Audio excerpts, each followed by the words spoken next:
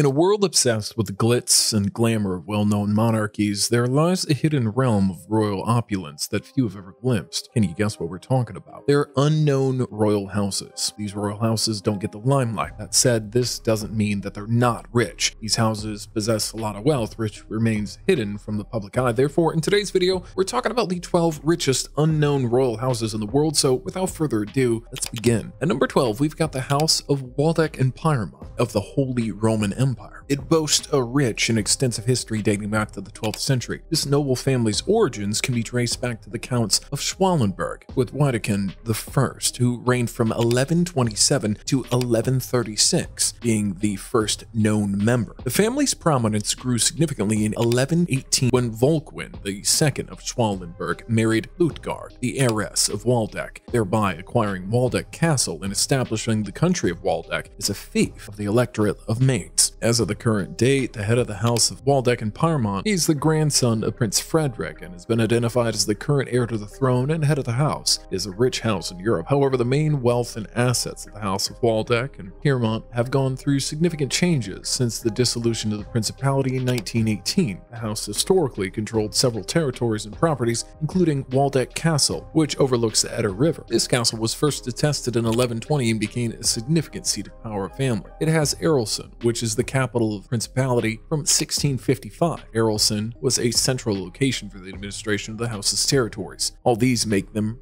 rich, and their estimated net worth is $20 million.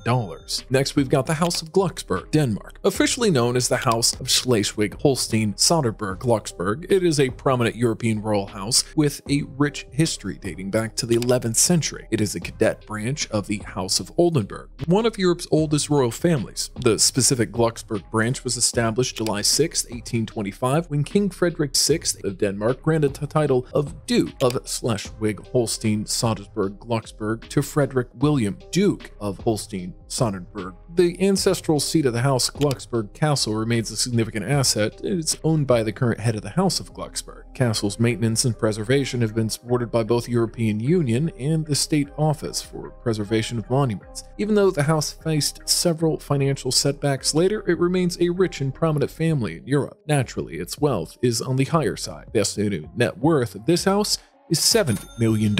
Next, we've got the House of Oldenburg, Germany. It is a prominent European royal dynasty with roots tracing back to the 11th century in northern Germany. The primogenitor of the Oldenburg line was Elmar I, Count of Oldenburg, born around 1040. The family's ancestral home, Oldenburg Castle, has been a significant seat of power since the 12th century, with archaeological evidence suggesting settlement in the area dating back to the 8th century. As of the current date, the head of the House of Oldenburg is Frederick Ferdinand, hereditary prince of Schleswig-Holstein. He assumed this position following the death of Christoph, Prince of Schleswig-Holstein in 2023. Frederick Ferdinand is part of the Schleswig-Holstein-Sonderburg-Glucksburg branch, which is a cadet branch of the House of Oldenburg. This historic wealth of the House of Oldenburg was substantial, deeply rooted in its territorial holding and royal connections. The House of Oldenburg historically held significant territories and titles across Europe, including the kingdoms of Denmark, Norway, and Greece, as well as the Duchess of Schleswig and Holstein. The ancestral home of the family, Oldenburg Castle remains a significant property. It is now owned by a foundation, headed by its current House of Oldenburg. The family's wealth includes historical properties, investments, and revenues generated from these assets. The estimated net worth of the house is $70 million.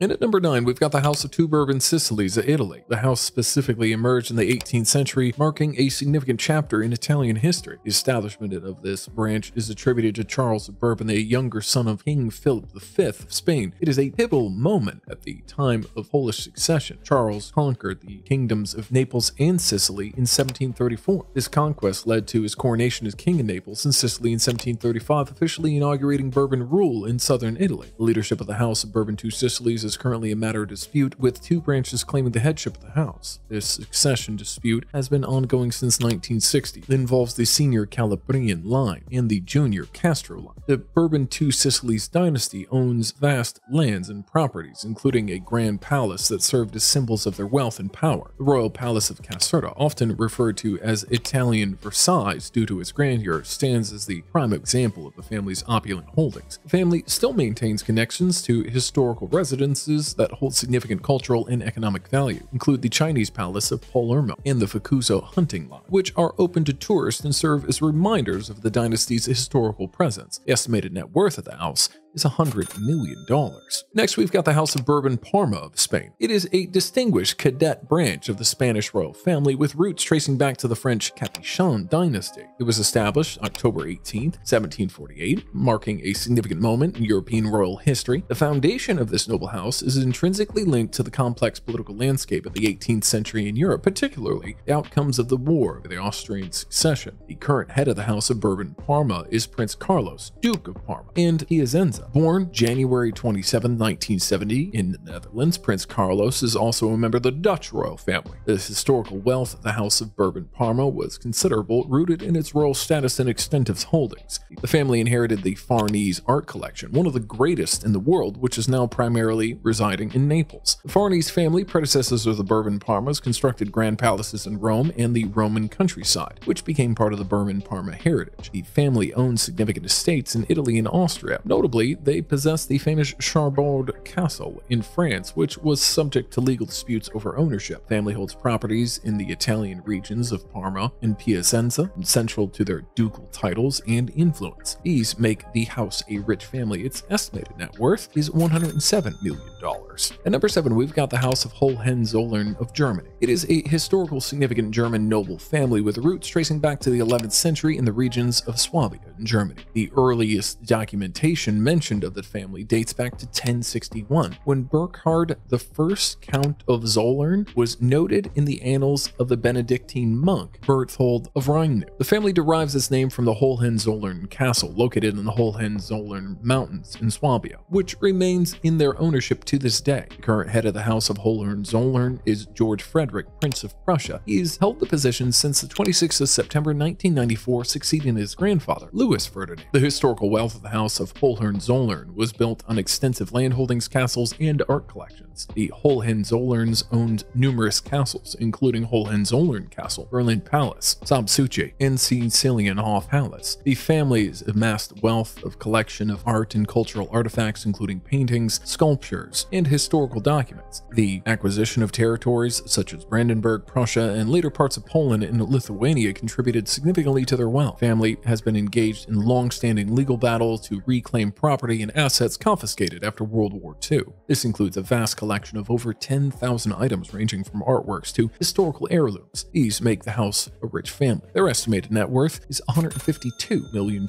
Next, we've got the House of Braganza of Portugal. Known in Portuguese as the Serenissima Casa Braganza, this is a prominent royal dynasty that has played a pivotal role in the history of Portugal and Brazil. It was founded in 1442 by Alfonso I, the first Duke of Braganza, who was was an illegitimate son of King John I of Portugal from the House of Aviz. This founding marked the beginning of a dynasty that would become one of the most influential noble families in Iberia during the Renaissance period. The current head of the House of Braganza is Dom Duarte Pior Braganza, born May 15, 1945. He holds the title of the 24th Duke of Braganza and is recognized by the Portuguese monarchists as the pretender to the defunct Portuguese throne. Dom is a member of the Miguelist branch of the House of Braganza, descended from King Miguel I of Portugal. While the House of Braganza no longer holds the vast wealth and political power it once did, it still maintains significant assets and cultural influence. The family continues to hold significant real estate assets, particularly in Portugal. They also earn a feudal tax called laudêmio, which is a 2.5% of the selling price of real estate, all based out of Petropolis, Brazil. These make the house a rich family. The estimated net worth of the house is $200 million. At number 5, we've got the House of Wittelsbach of Germany. It is a prominent European royal dynasty with a rich history spanning back nearly a millennium. The House of Wittelsbach traces its roots back to the 11th century, deriving its name from Wittelsburg Castle in Bavaria. The dynasty's founder is considered to be Otto the Count of Scheyern, who died in 1071. The family's association with the Wittelsbach name began in 1119 when they moved from their residence in Wittelsbach Castle. The current head of the House of Wittelsbach is Franz, Duke of Bavaria, who's held this position since 1996. Born in 1933, Franz celebrated his 19th birthday in Munich in 2023. He resides in the Nymphenburg Palace, a significant location for the family. The House of Wittelsbach maintains its significant wealth and assets managed through the Wittelsbach's Compensation Fund, established in 1923. This fund includes Nymphenburg Palace, Berg Palace, Tegernsee Abbey, Wildenwart, Ludensen, and Kaltenberg castles. Extensive agricultural and forestry lands as well. The house also has businesses which include Ducal Bavarian Brewery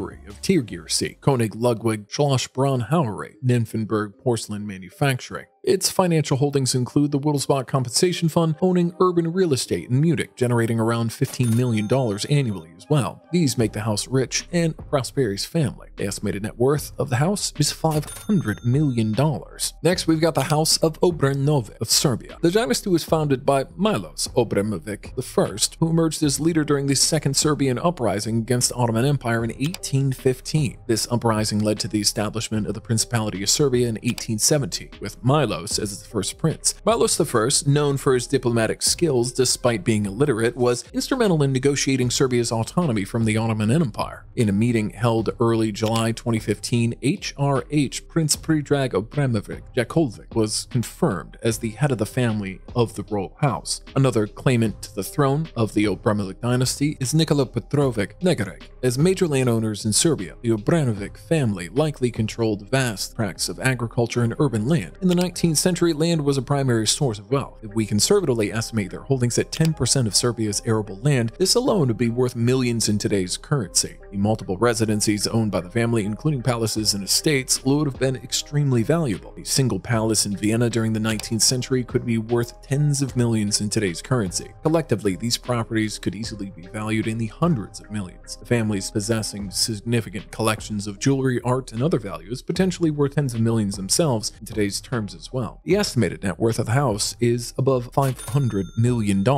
And at number three, we've got the House of Habsburg Lorraine of Austria. It is a prominent European dynasty with a rich and complex history, and it has played a significant role in shaping the political landscape of Europe for centuries. The House of Habsburg Lorraine originated from the strategic union of two influential European dynasties, the House of Habsburg and the House of Lorraine. This merger was formalized through the marriage of Maria Theresa of Austria, the last of the Habsburg line, to Francis Stephen of Lorraine in 1736. The current head of the House of Habsburg Lorraine is Karl von Habsburg, born January 11, 1961 in Starnberg, Bavaria, Germany. He is the son of Otto von Habsburg, the last crown prince of Austria-Hungary, and the Regina of Saxe-Meiningen. Karl assumed the position of the head of the house following the death of his father in 2011. The current wealth and assets of the House of Habsburg Lorraine are complex and have been significantly affected by historical events and legal challenges. After the fall of the Austro-Hungarian Empire in 1918, the Habsburg Law of 1919 transferred many of the family assets to the Austrian state. This included both Aulic and tied assets, while their private assets remained with the family. Current net worth of the Habsburg family is estimated to be significant, from approximately $2.9 billion and even more. This wide range reflects the complexities and historical depth of their wealth. Next, we've got the House of Austria-Este, Belgium. Also known as the House of Habsburg-Este, it is the cadet branch of the illustrious House of Habsburg-Lorraine, with roots tracing back to its ancient House of Este. This noble lineage was established in 1771 through a strategic marriage between the Archduke Ferdinand of Habsburg-Lorraine and Maria Beatrice d'Este, the sole daughter and heiress of Ercole III d'Este, Duke of Modena. This union was carefully orchestrated to ensure the continuation of Este lineage and to secure their substantial possessions as the male line of the Este family was on the brink of extinction. As of November 2024, the head of the House of Austria-Este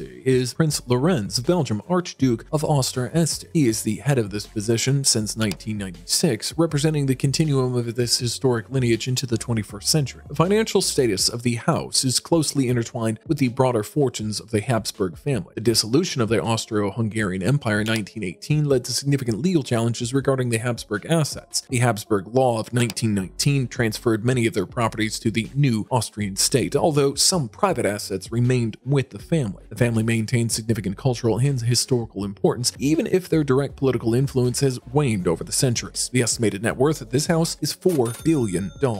And at number one, we've got the House of Savoy of Italy. It traces its roots back to the early medieval period with its foundations attributed to Humbert I, known as Humbert the White-Handed, around the year 1003. Humbert I, a knight of the Holy Roman Empire, played a crucial role in consolidating power in the region of Savoy, located in the Alpine area between modern-day France and Italy. The current leadership of the House of Savoy is subject of dispute, with two branches of the family claiming headship. First is Prince Emmanuel Filiberto, who is known as the Prince of Venice. He is recognized by some as the head of the House of Savoy following the death of his father, Prince Vittorio Emmanuel in February 2024. Second is Prince Aimone, Duke of Aosta, who is supposed by some Italian monarchists as the legitimate head of the House of Savoy. The House of Savoy has historically accumulated significant wealth through territorial expansions, political allegiances, and marriages. Their asset included numerous palaces, estates, art collections, and crown jewels. The family has been involved in legal efforts to reclaim some of their historical assets, particularly the family jewels held by the Italian government since the monarchy's abolition. These jewels are estimated to be worth 334 million alone. These make the house rich and predominant as a family. The estimated net worth of the house in total is 100 billion dollars. And with this, we wrap this video. We hope you enjoyed the video. If you find our channel interesting, and subscribe to it. Thank you. See you in the next video.